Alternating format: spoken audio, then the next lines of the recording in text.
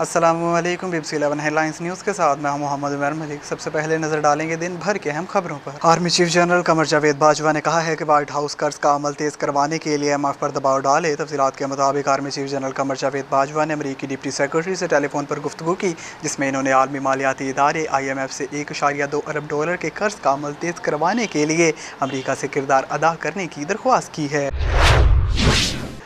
बरतानवी अखबार financial times की report में दावा किया गया है कि बरतानिया में फ़ंड्स इकट्ठा करने के लिए टी ट्वेंटी मैच करवाए गए। दीगर तरह से भी हासिल की जाने वाली रकम पी टी आई को मुंतकिल की गई।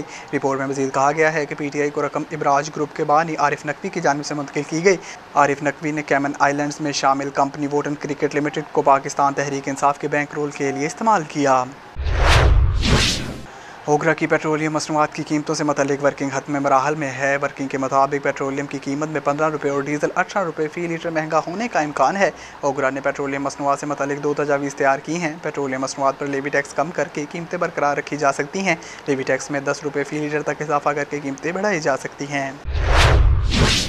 वजारत ख़जाना ने कौमी असम्बली में दावा किया है कि आई एम एफ़ से रकम आने के बाद डॉलर की कीमत एक सौ नब्बे से दो सौ दस तक आ जाएगी। मुल्क में देने, तेल की पैदावार बढ़ाने की कोशिश कर रहे हैं।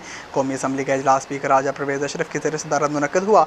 इजलास में पीपल्स पार्टी के अरकान कादिर खान मंदोखेल और दीगर तोज्जा दिलाओ नोटिस पर वजारत ख़जाना के पार्लिमानी सेक्रेटरी राना इसहाक खान ने बताया कि आई एम एफ़ से रकम आने के बाद मुल्क में डॉलर की कीमत एक सौ नब्बे से दो सौ दस तक आ जाएगी। राना इसहाक खान ने मजीद कहा कि बढ़ती हुई महँगाई की वजह से तनख्वाहदार और गरीब तबके को रिलीफ दिया गया है। पंजाब असम्बली में नए स्पीकर के इंतब और डिप्टी स्पीकर के खिलाफ तहरीक अदम अतमाद के मामले पर नून लीग ने इलेक्शन कराने का तरीक़ेकार पर तहफात का इजहार कर दिया। नून लीगी एम पी खलील ताहिर संधू ने स्पीकर, डिप्टी स्पीकर और पैनल ऑफ़ चेयरमैन को खत लिख दिया। खत के मतन के मुताबिक असम्बली सेक्रेटरीट के अमले की जानब से इंतबात के अमले के हवाले खदशात और तहफात हैं। नून लीग मुतालबा करती है कि आज का इलेक्शन आइन और इलेक्शन रूल्स के तहत करवाया जाए। वफाकी वज़ीर दाखिला राना सनाउल्ला का कहना है कि मॉडल टाउन केस में इनके और इस वक्त के वजी अला पंजाब शहबाज शरीफ के खिलाफ कुछ साबित नहीं हुआ। वजी दाखिला राना सनाउल्ला ने ट्विटर पर बयान में कहा कि मॉडल टाउन केस का फैसला पहले ही सुनाया जा चुका है। इस वक्त के वजी अला पंजाब शहबाज शरीफ और मेरे खिलाफ ट्रायल कोर्ट से सुप्रीम कोर्ट तक कुछ साबित नहीं हुआ।